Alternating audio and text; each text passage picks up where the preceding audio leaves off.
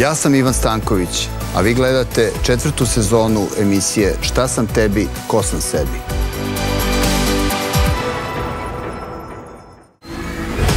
Nekadašnji beogradski zet, odličan gitarista, maneken za razne poroke, odlučio je da promeni svoj život za 180 stepeni. Skrasio se u Zagrebu, u srećnom braku, prebacio se u vokale i živi zdravim životom. Zadržao je harizmu interpretacije gde i stare istrošene stvari zvuče drugačije, modernije i bolje. Dokaz da kopija nekada može da bude bolja od originala. Dame i gospodo, Massimo Savić.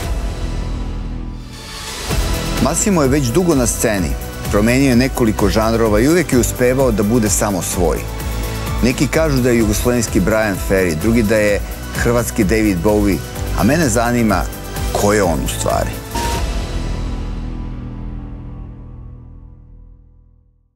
Massimo, dobro večer.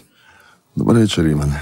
Vrlo mi je drago što si uh, se probudio na vreme i došao na, nakon burne noći. Također, također. I mene veseli. Nije bilo lako jer ja nakon koncerta ovaj, kontempliram o svemu što se dogodilo. Uvijek imam analizu, pogotovo sa mojim ton majstorom, sa mojim asistentom. I ova analiza je potrajala do nekih 4-5 ujutro, a onda svi koji me znaju, znaju da ja još uvijek ne mogu umiriti misli nakon koncerta, tako da sam onako, ajmo reći da sam zaspao u 8 ujutro, a onda sam ustao odmah u 11 radi, radi tebe. Odlično, hvala puno. I zato su ove tamne naočare kao, kao deo rock and roll imidža. Da, da ne zamaram ljude svojim zamorom. Eto. Ali ranije si e, drugčije završavao noći posle koncerta, je tako? U, u, lud, u doba ludih 80-ih. O, da, da, da. To su bila apsolutno luda vremena. Meni je žao što je tada praktički je država puštala da se mladi intelektualci uništavaju. Državi je to odgovaralo. Nekako, Kako da se uništavaju? Pa da, da tu se motaju razno razni narkotici i tako dalje, a da nema sveopće televizijske, medijske hajke i naobrazbe, da to nije dobro. Ne? To, to je falilo. Nego u društvu je to bilo Carlos Castaneda, ne, pejote, pa idemo lagano halucinirati, idemo istražiti, otvoriti neka vrata svijesti i tako dalje. A kada bi te policija zaustavila, tadašnja milicija, da li su se pravili ili, ili su stvarno se radilo o idiotima koji nisu znali što ti to nosiš u džepu. Ne? Tako da nikada nisam imao nikakvih problema sa tim i danas kada gledam u, u retrospektu, čini mi se da je nekako nekim instancama odgovaralo da, da mladi intelektualci budu malo uspavani. Ne?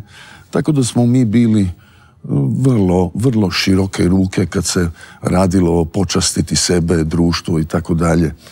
Novac je kao i uvijek za mene bio samo komadić papira i danas je to za mene novac. To je, to je papir koji ja mijenjam za svoje zadovoljstvo, za moju sreću.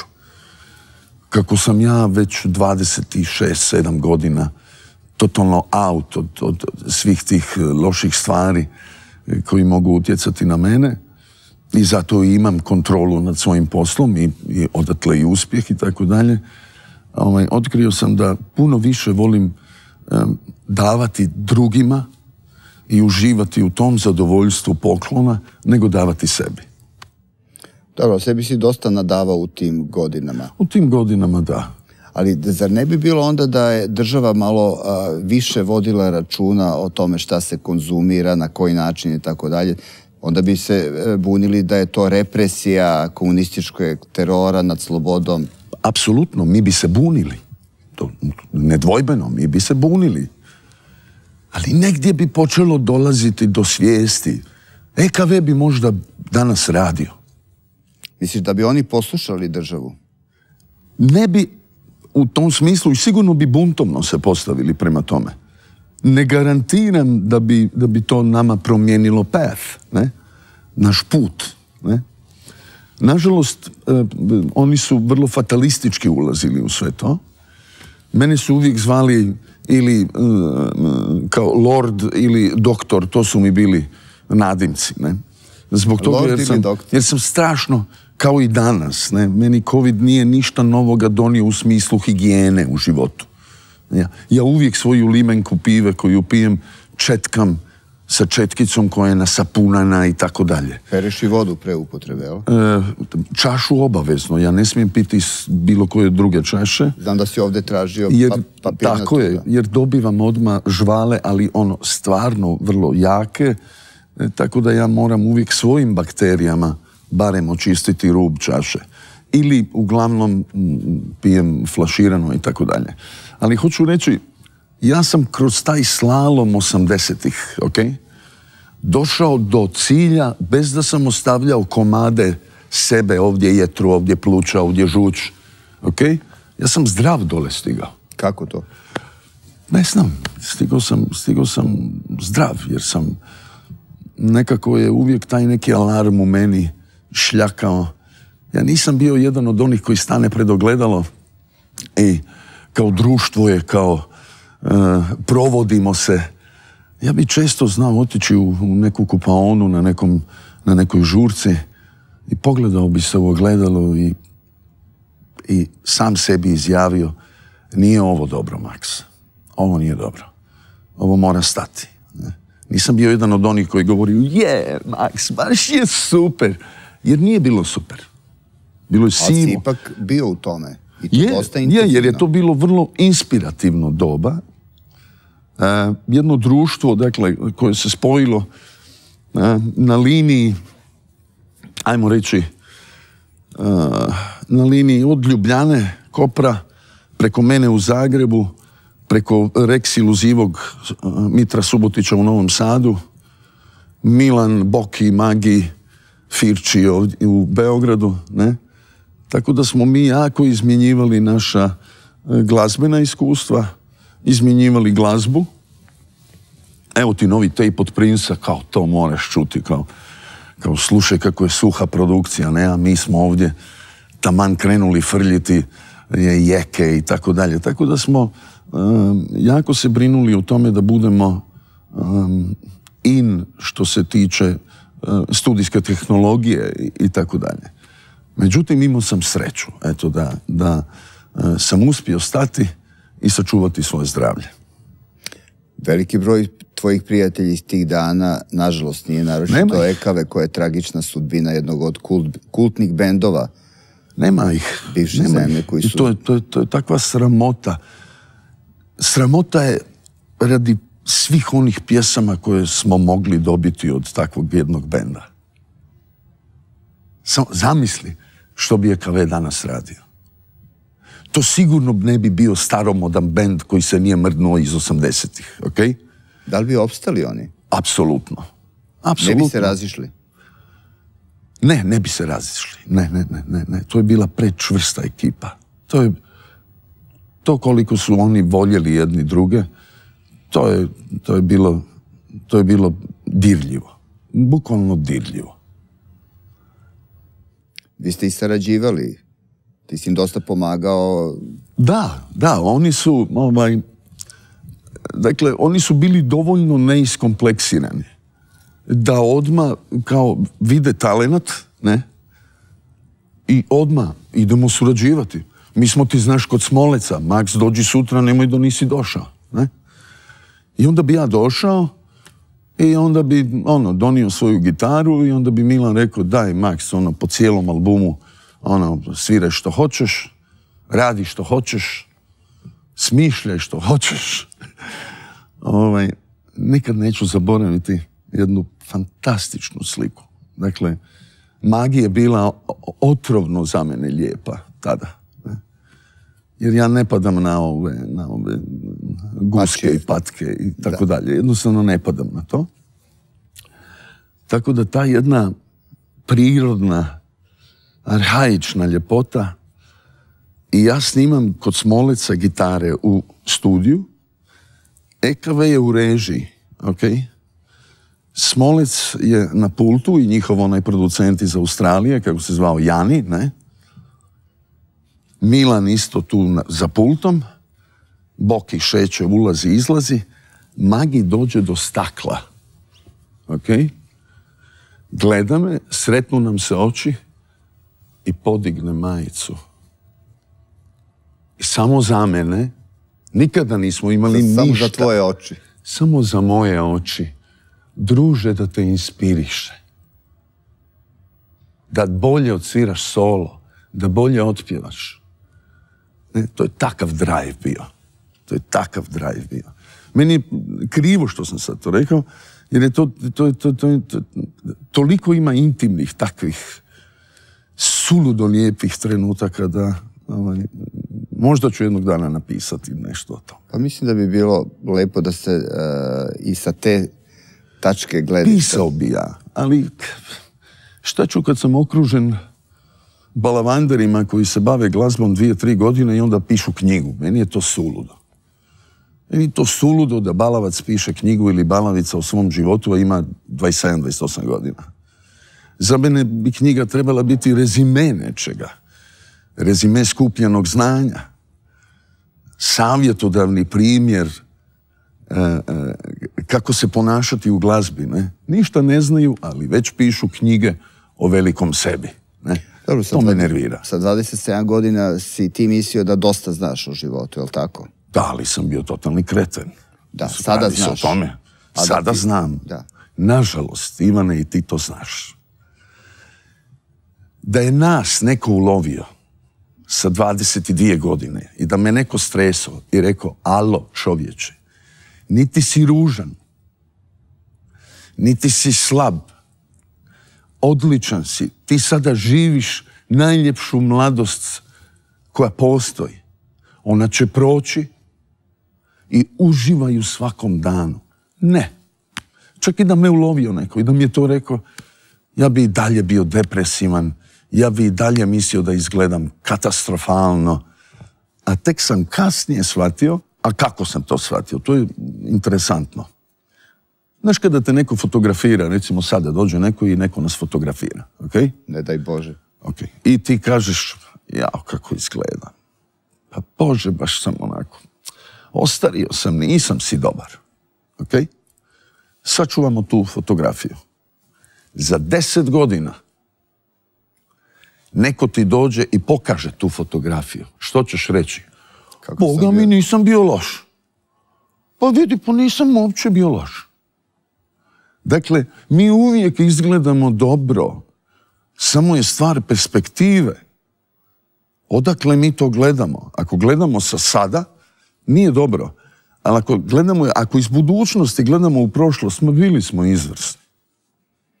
Ali teško bi tada ni ti ni ja poverovali u te činjenice. Ja sam mislio da će moj, svi moji životni problemi se završiti kad završim fakultet. A shvatio sam da su tek, tada počeli. To je tek greška, da. Ali to je, to je definitivno neka fenomen e, mudrosti što nam dolazi godinama, gde smo se učili na, na svojim greškama, a bilo ih je, Bogu hvala, dosta, jer život bez grešaka je dosadan. Savršenstvo u životu Mislim, ne postoji. nema učenja bez grešaka. kako da naučiš ako nisi učinio grešku? Kako ti, ti moraš doživjeti grešku? Ti moraš platiti tu grešku da bi je mogao ispraviti. Ali isto je potrebno da imaš snagu da vidiš šta si pogrešio i da to eventualno ispraviš. E sada, uh, moja supruga uh, naj, vrlo često mi kaže tvoja najveća i najbolja osobina je što jako brzo priznaješ ako si pogriješio. Ne. Ja nisam neko ako se ona i ja poriječkamo ja ne ostavim da sad mi ne razgovaramo par dana. Jer bi ja puko. Ja to ne bi izdržao. To nije dobro. Ja vrlo brzo znam reći oprosti. Što je redko? To je... Da, rijetko je. Rijetko je. Ja, moje iskustvo mi govori da je to rijetko. Ja to slabo dobijam od ljudi. Ja stvarno moram čovjeka dovesti do ruba trampolina da mi on kaže oprosti. Stvarno ga moram dovesti do samoga ruba. A samo inicijativno da će ti neko doći i reći stvarno sam bio grub. Nisam ti to trebao reći. Nisam trebao to ni misliti. Ali, što ja znam, ja mislim da je u mom slučaju to, to dobro funkcionira. Preduslov za to jeste da oslobodiš se tog narcisoidnog dela kod sebe i da prihvatiš sebe takvog sa, kao osoba mana, sa puno mana i puno vrlina.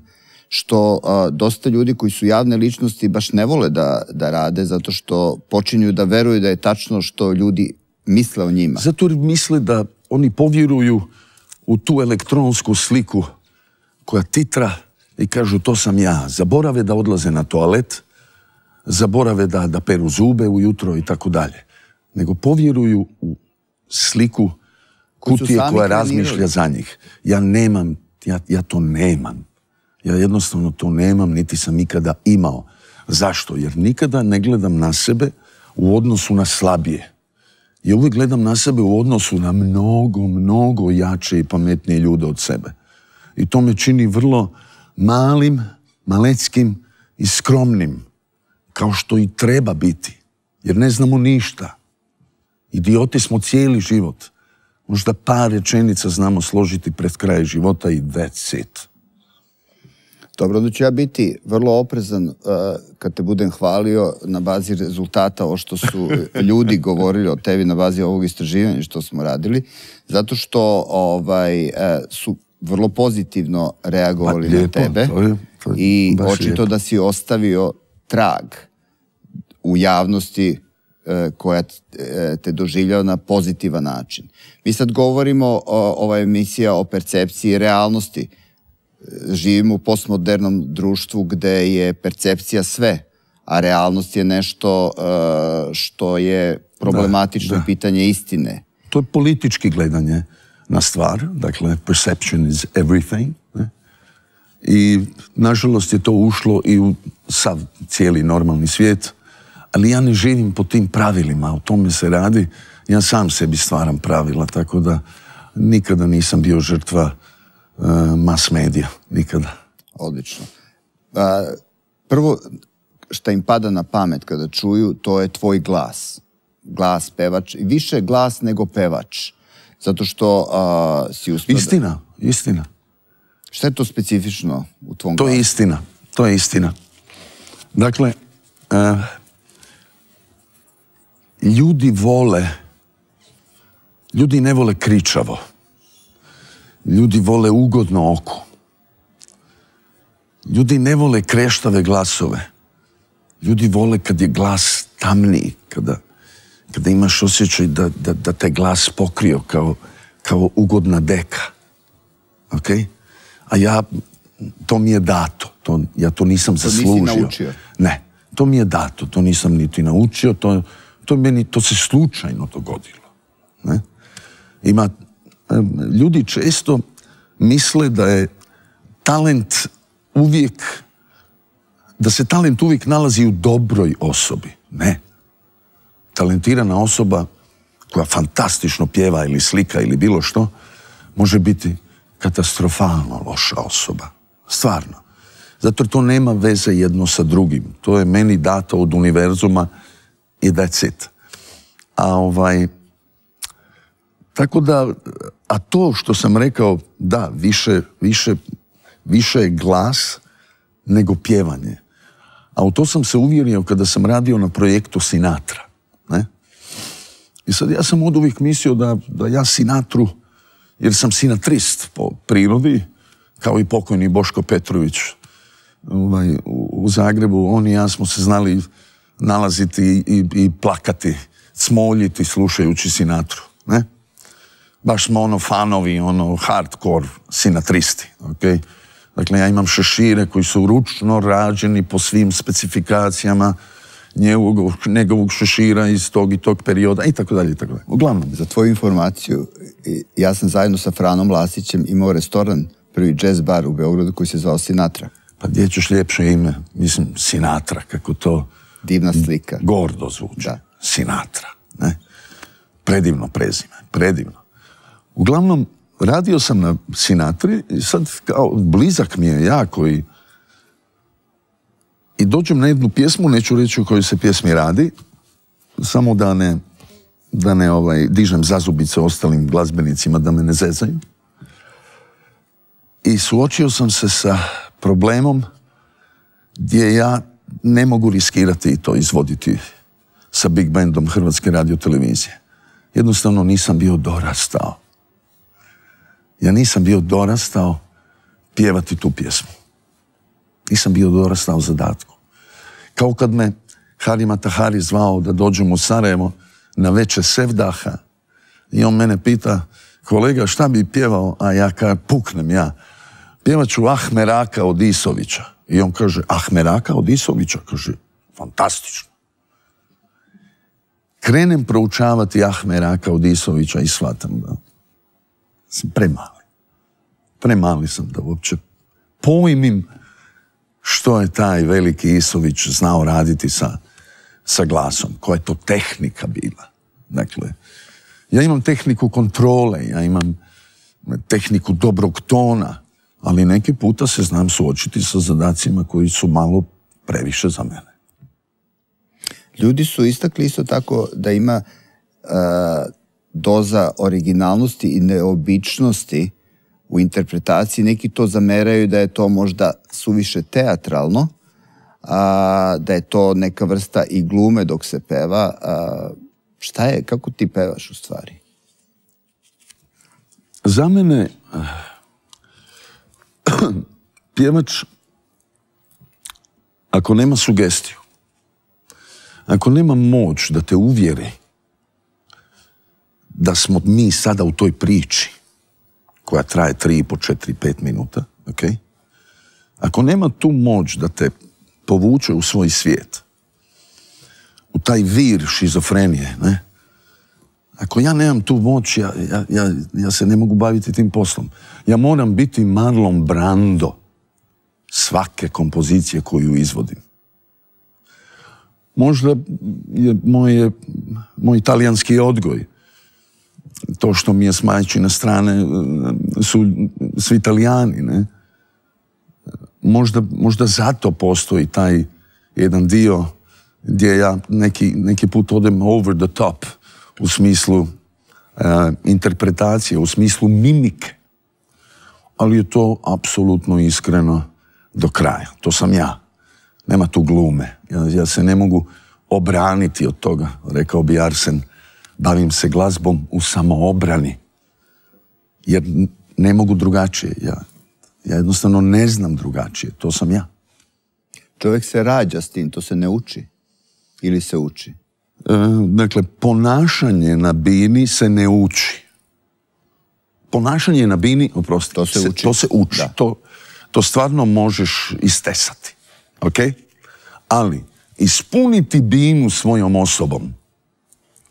Recimo ovaj stage, sada nas nema. I ti ja sjedimo i izmijeni se 5-6 ljudi koji nam tu nešto izvode. Od tih 5-6 ljudi mi ćemo vidjeti koji, ko od tih 5-6 svojom osobom, karizmom puni tu binu. A ko je na bini onako kao sam jadnik na cijelom svijetu. Ovako malecki na bini. Pojede ga ovaj krug ovdje. Ne? A postoje ljudi koji ispune binu svojom karizmom. Ne? To se ne može učiti. To je to ili imaš ili, ili nemaš. A otkud ti u muzici? Oh, to je...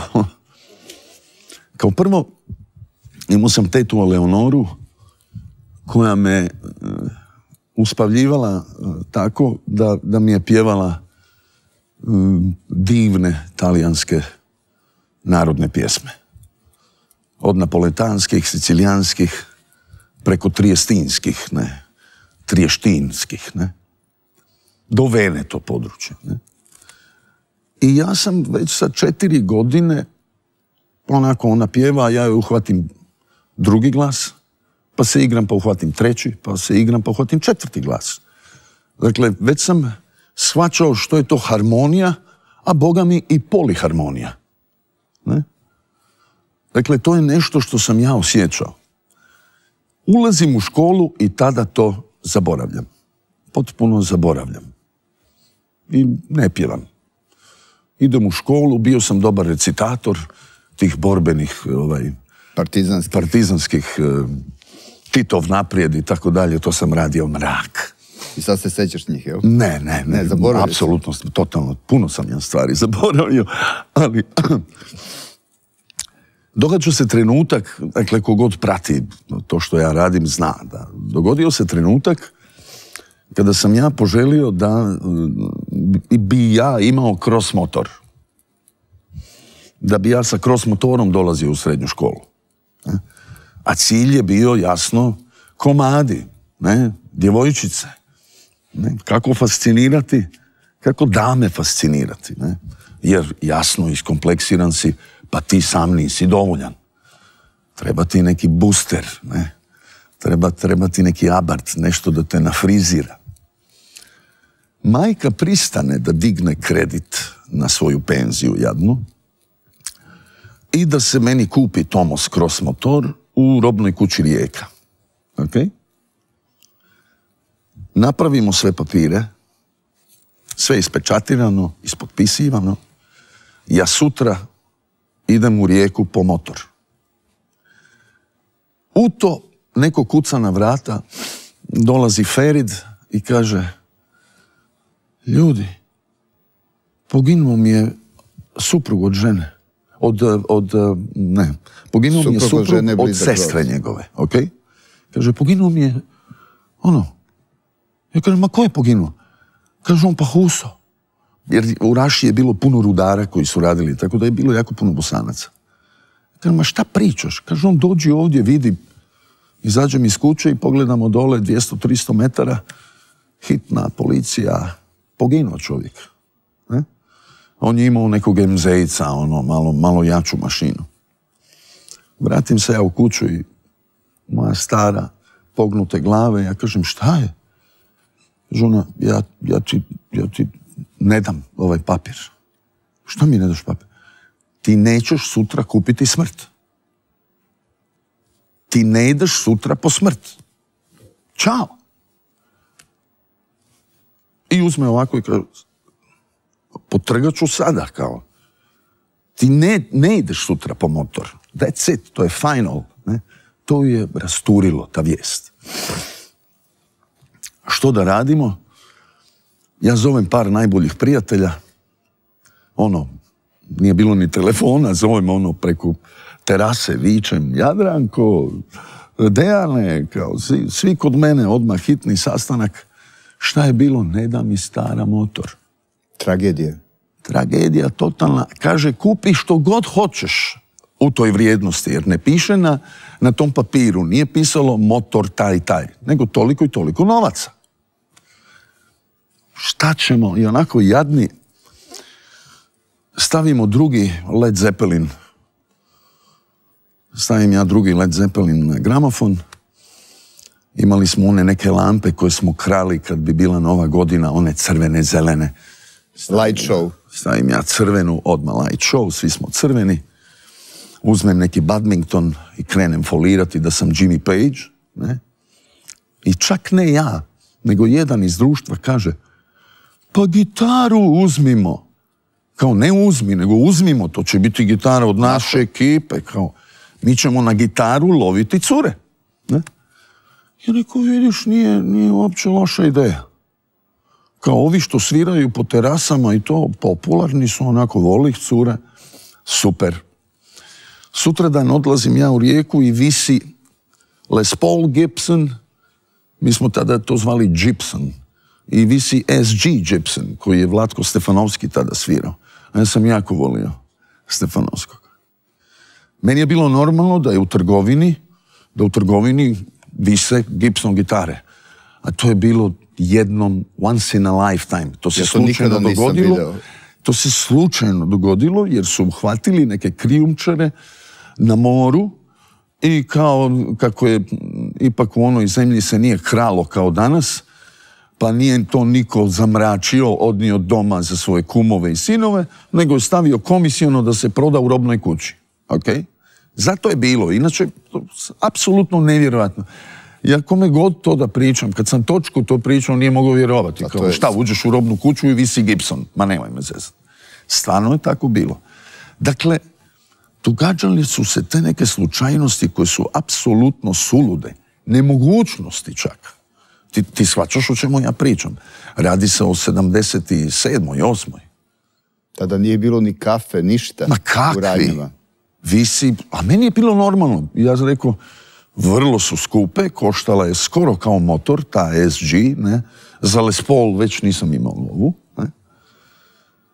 I ja uzmem tu užasno skupu gitaru, ne znam svirati uopće. To je bila električna gitara. Da, SG, onaj A nisi Angus Young, ACDC, ok? Nisi imao e, pojačalo.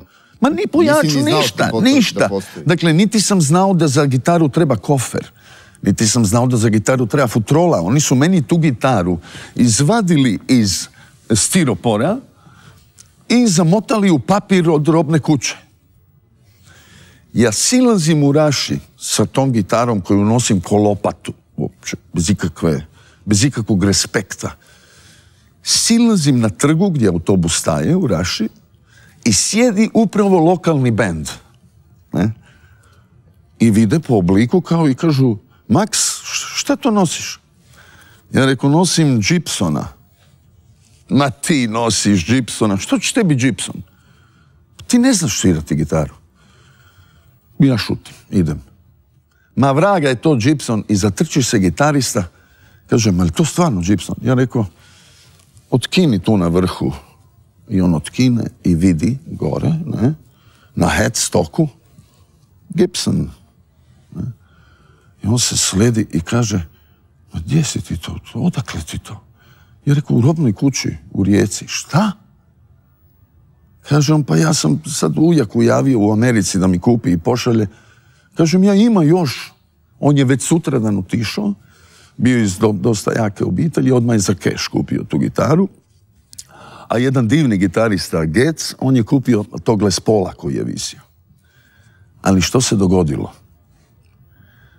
Od trenutka od kad ja ulazim sa tom gitarom u kuću, ja prestajem izlaziti, nestajem iz društva i počinjem svirati po desetak i više sati na dan. Počinjem savladavati stvari za koje trebaju ljudima, recimo prosječno treba nekome godinu dana da savlada određeni pattern, ja sam to savladavao u 24 sata. Ne? I samo da završim, kad sam jednom bio kod Vlatka u Meksičkoj ulici, kod Vlatka Stefanovskog u Skopju, bio sam u gost i pitao sam Vlatka, rekao, Vlatko, koliko ti je trebalo da savladaš gitaru do te mjere, ono, do, do ove perfekcije na kojoj si danas?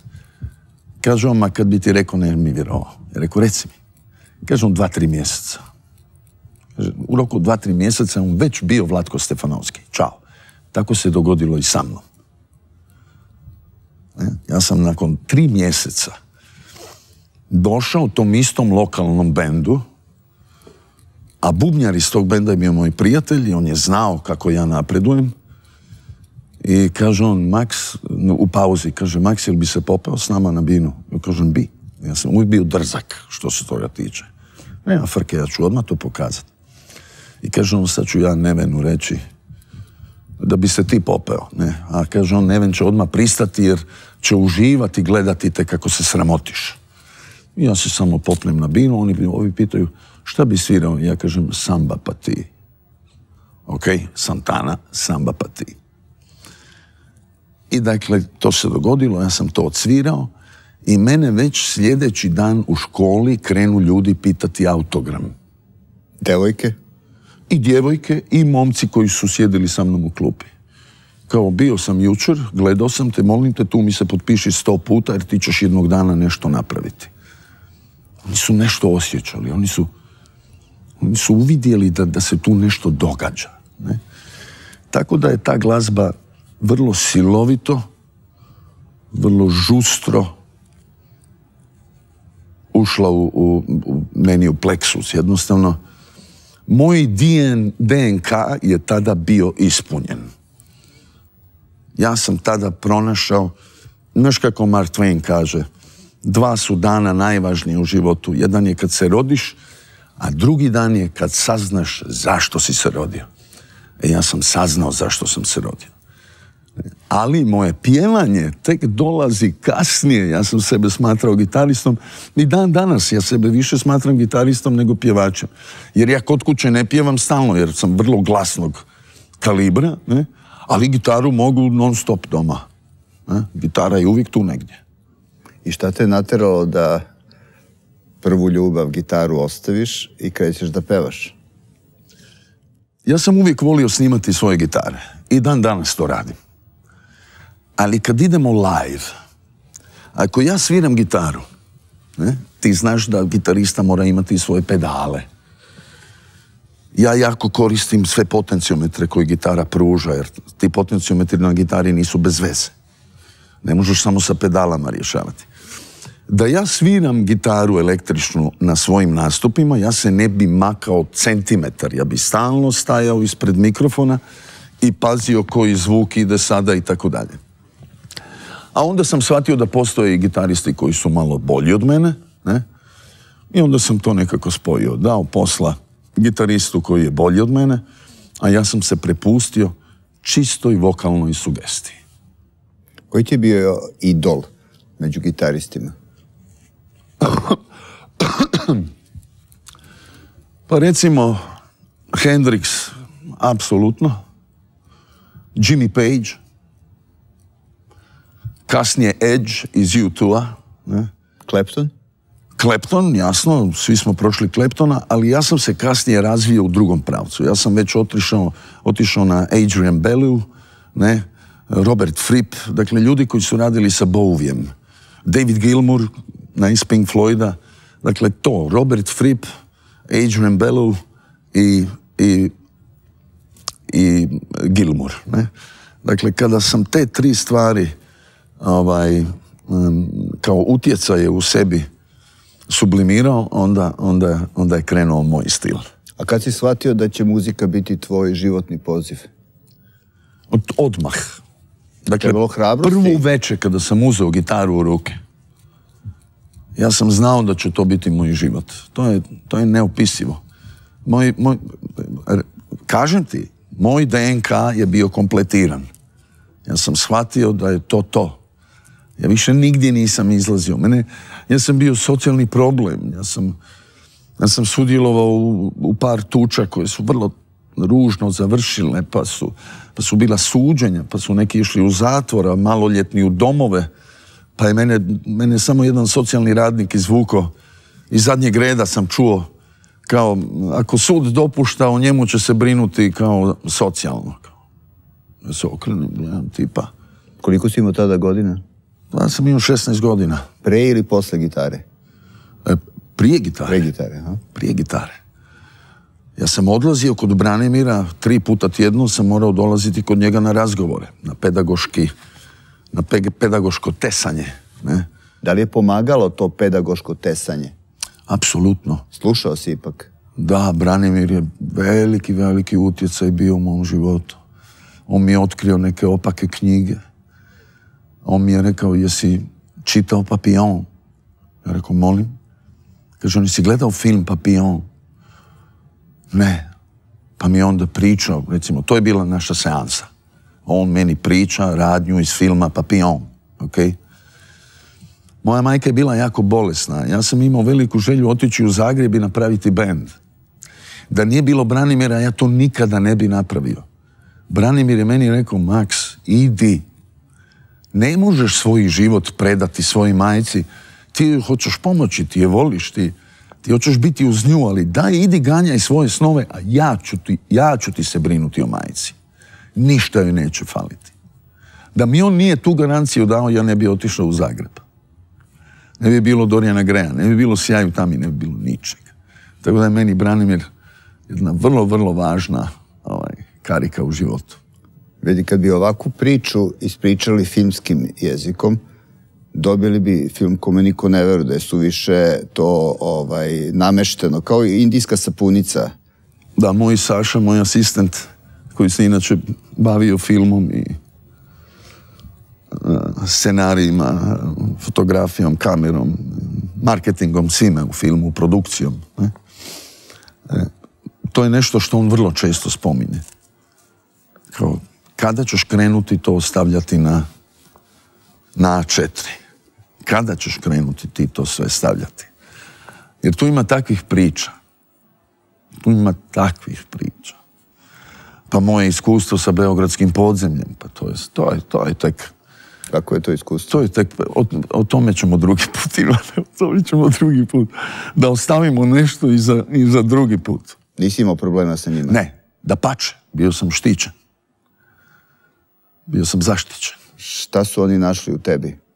Ne znam. Koje su to godine? To su Ne znam. 80. jel ja, tako? ja, da sam, ja da sam sam sebe vidio tada, ja bi sam sebe iritirao. Bio si iritantan, jel? Ja sam bio, sam sebi sam bio iritantan i danas kada gledam bio sam iritantan. Je te malo blam zbog toga? Ne, ne, to, to je životna faza. Ali, moram reći to, Ivane, i to je stvarno istina. U tom svijetu sam upoznao mnogo časnijih ljudi nego u ovako običnom svijetu. Časni ljudi. Ljudi koji znaju što je riječ. Koji znaju što je obećanje. Koji znaju što je sigurnost. Ne? Tako da moje iskustvo je, je izvrsno. Izvrsno. To su ljudi koje sam jako, jako poštovao i poštujem. Dakle, kogod je uspio u tom nekom underworldu, ne, u tom nekom podsvijetu, e, to ne dolazi tek tako. To, tebe trebaju respektirati. Ne, tebe se ne trebaju bojati, ali te moraju respektirati. To je jedna, jedna druga instanca koju sam ja prošao i mnogo sam naučio. Mnogo sam naučio od tih nekih ljudi koji su, nažalost, opet pokojni. Jer kako to uvijek biva, ti neki najjači uvijek, uvijek nekako loše završe, neko ih skine sa trona i to uvijek bude metko. Redko kod njih doživi prirodnu smrt. Da, rijetko. ko, rijetko. E, zato je u tim mafijaškim filmovima, recimo u Kumu, vrlo često a, taj respekt, poštovanje, re- respektovanje, to je jedna od ključnih reči koji, e, zbog kojih se gubi glava.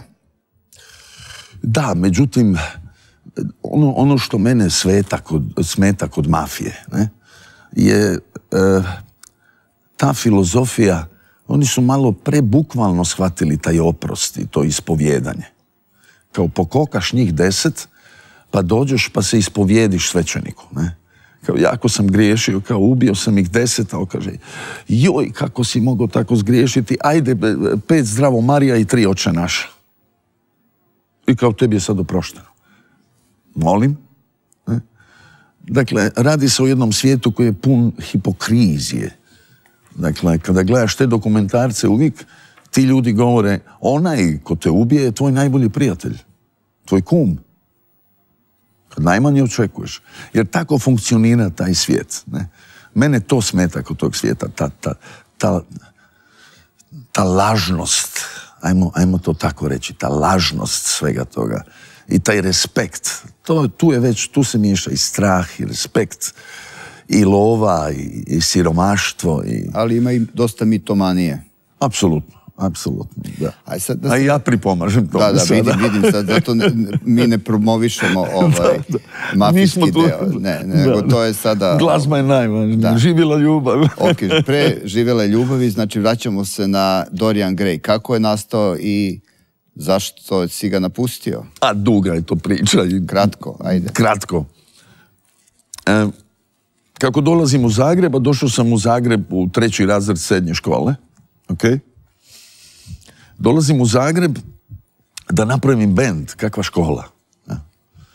Iako sam išao u vrlo tešku srednju školu, Ruđer Bošković, gdje nema ulaska u cipelama, moraš imati papuče. E, to su takozvani nerdovi išli u tu školu, oni a, odlikaši, štreberi, ne?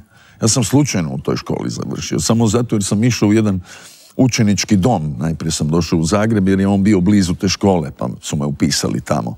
Ali ja sam bio, ono, malo ovaj, preneodgovoran za takvu školu. No, bez obzira na to. Dolazim i počinjem pisati svoje pjesme. Počinjem pisati kompozicije. Ne?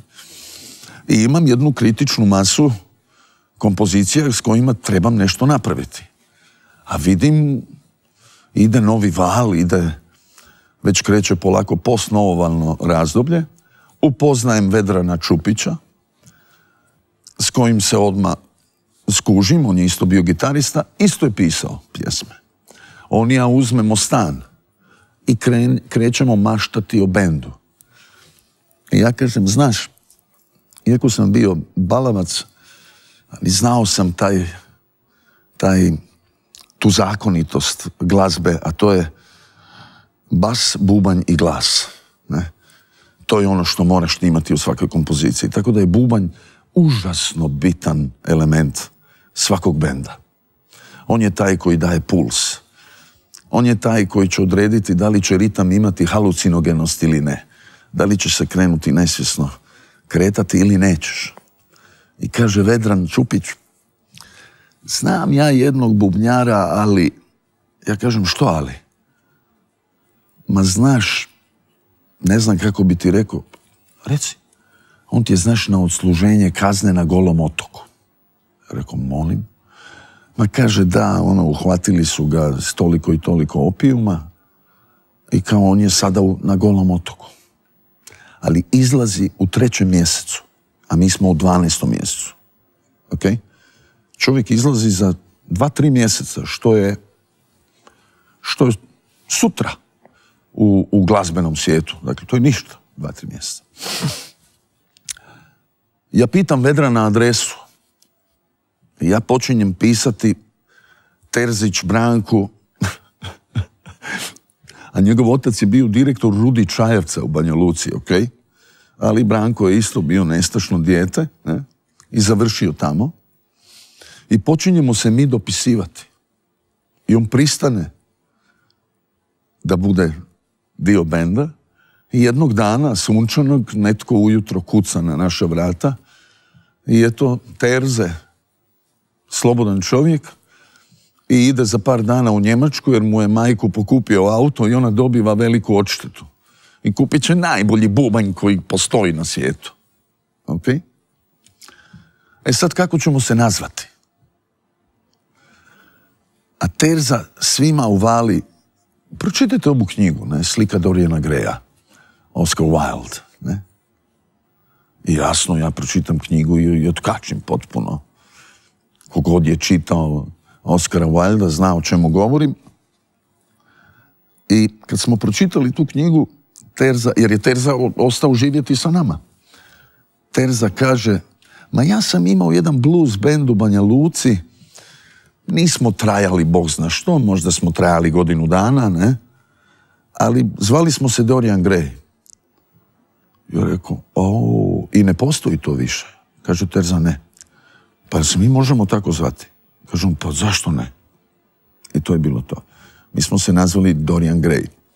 S time da sam ja, uzevši to ime od Oscara Wilda, odmah shvatio što uzimam. Odmah sam uzeo to ime sa svim kapitalom koje to ime donosi. A to je... To je brand. A to je brand, ok, pod broj jedan, a drugo, to je brand koji ti otvara puteve, koji ti ukazuje gdje ćeš ti ići. Dakle, kontrast. Tama, svjetlo. Naš prvi hit je bio Sjaj u tami. Ružno, lijepo. Fino i grubo. I tako smo počeli aranžirati pjesme. Dakle, ako je vokal kompozicije bio liričan, melodičan, onda bi napravili ritam potpuno iščašen, neprirodan ritam, čudne atonalne gitare kao kontrapunkt tom vokalu, ne? A ako bi vokal bio otkačen, onda bi išli sa totalno melodioznim, maltene mandolinskim gitarama. Tako da je meni taj brand tog imena donio i putokaz Dakle, ja sam znao što želim slikati, ali mi je još samo falio kakav ću imati potez kista. Falio mi je taj potez. Znam da to hoću slikati, ali potez mi je falio. I dobio sam to sa tim imenom. I gdje je magija prestala? A, gdje je magija prestala? Jel band kao, Kao brak? prvo, kao prvo je... Da. U band e, su ušle loše stvari koje smo elaborirali na početku emisije. A drugo, e, na drugom albumu smo u Švedskoj, umjesto da budemo 15 dana koliko je Jugoton platio, mi smo ostali 43 dana u studiju koji je tada koštao 80 maraka na sat. Ok?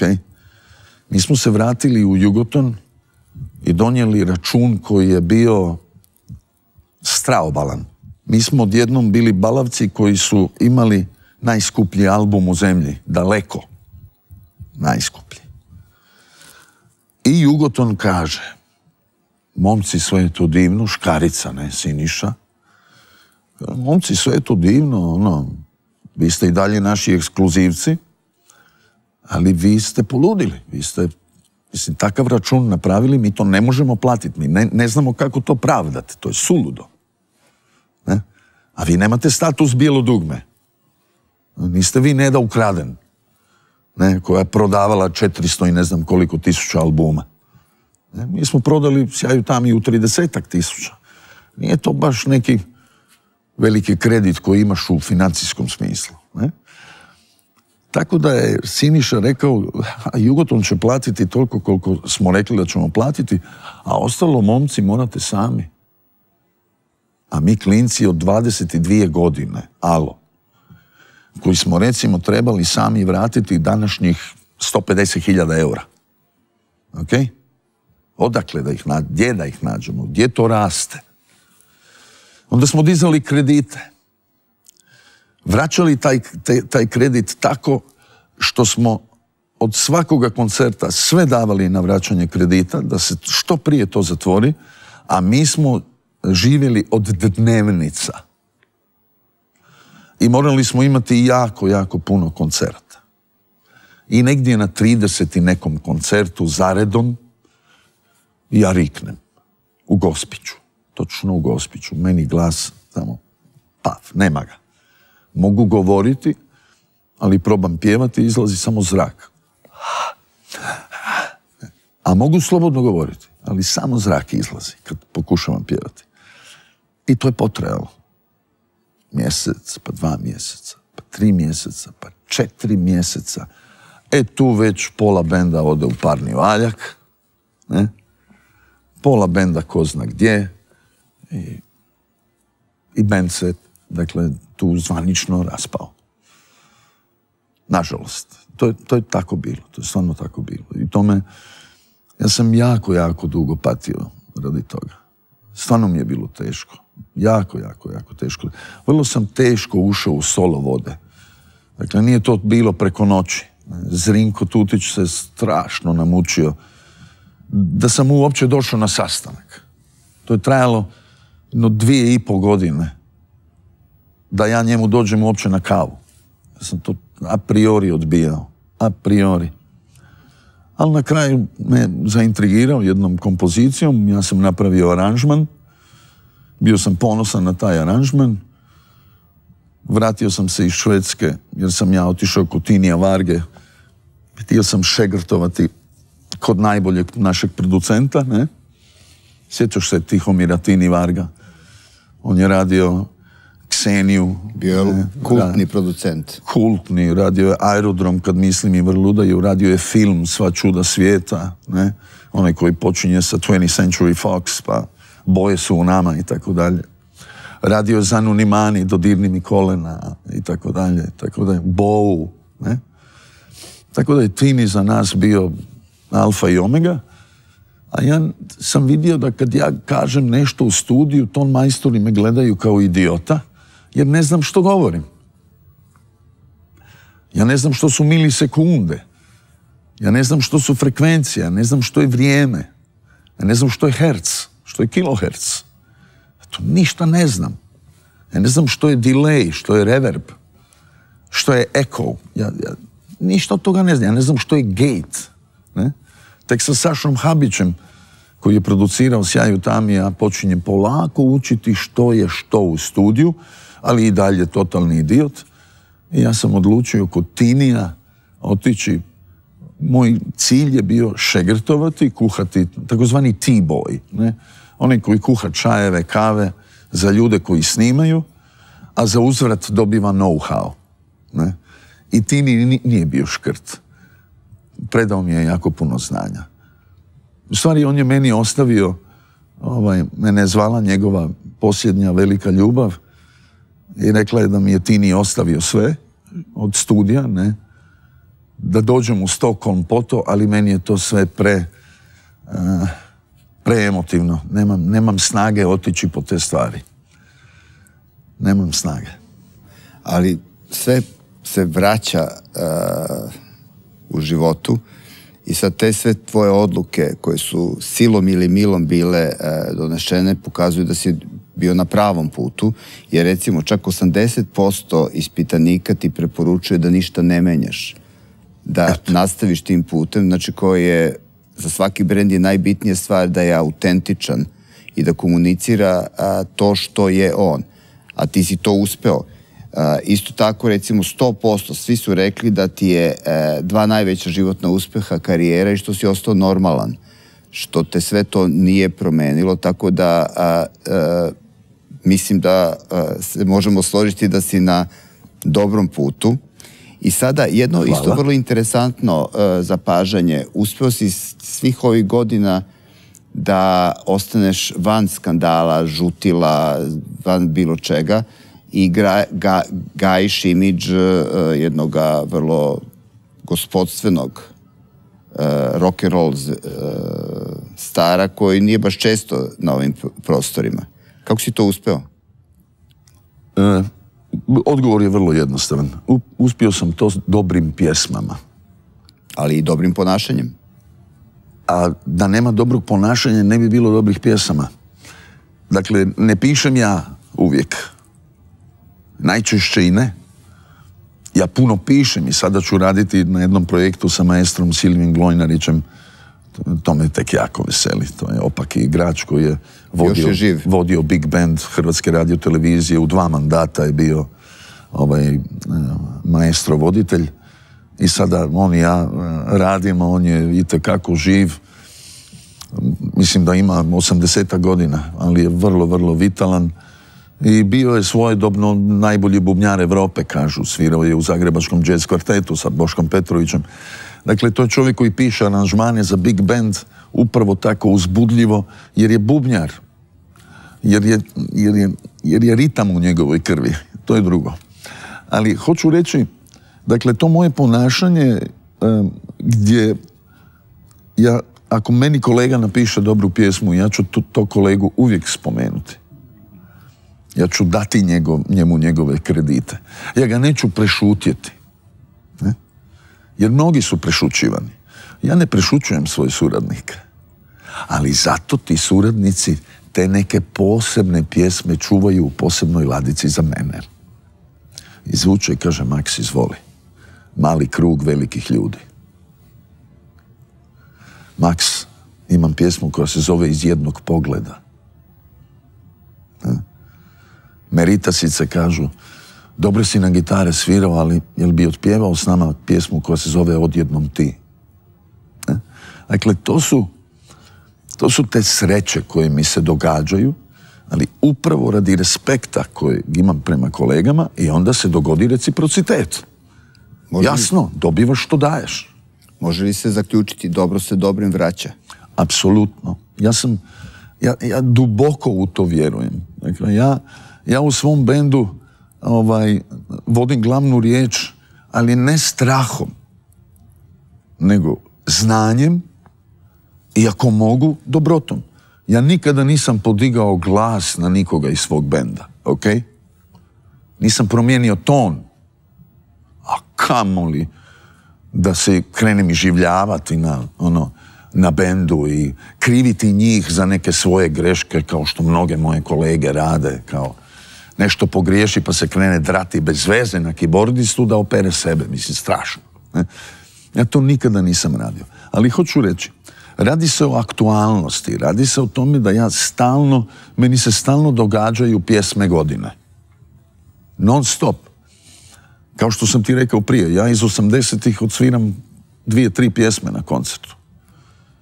To nije doba koje je mene formatiralo. Mene formatira sada i jedva čekam budućnost. Jedva čekam budućnost. Ja nemam nikakvu nostalgiju. Jer je meni danas jako, jako dobro. Vrlo sam zadovoljan. E sada, sa današnje tačke gledišta, šta bi mogao da kažeš mladom Maksu koji ima 13-14 godina, lud je, ima svoje ideje, šta da radi, šta da ne radi, šta da ga vodi kroz život? Prvo bi mu rekao čuvaj se čikice koji ti nudi čokoladu. Da. To je prvo što bi. Na ličnom primjeru. Na ličnom primjeru. To je prvo. Dakle, kao što sam ti rekao, ja sam zdrav izašao iz tog slaloma. Ali nije to trebalo tako biti. Ne? Moglo se i drugačije Moglo i bez toga. Moglo i drugačije završiti. Ali hoću reći, apsolutno je moglo bez toga. Ne, ne radi se o zdravlju, nego se radi o vremenu. Izgubio sam vrijeme.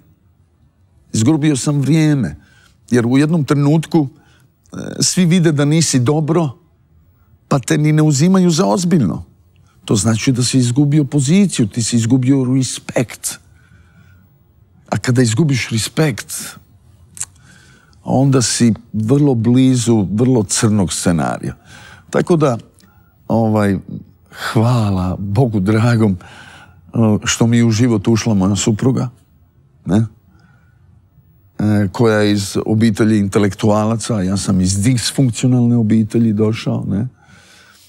Ona je iz jedne tako mirne, drage obitelji, pravih intelektualaca došla i imala je mnogo, mnogo strpljenja za budalu mene. Ne?